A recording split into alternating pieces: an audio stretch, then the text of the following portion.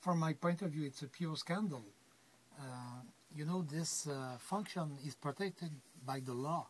The Auditor General is uh, above the administration and he has to give uh, the contact with the rest of the city is only with the city council.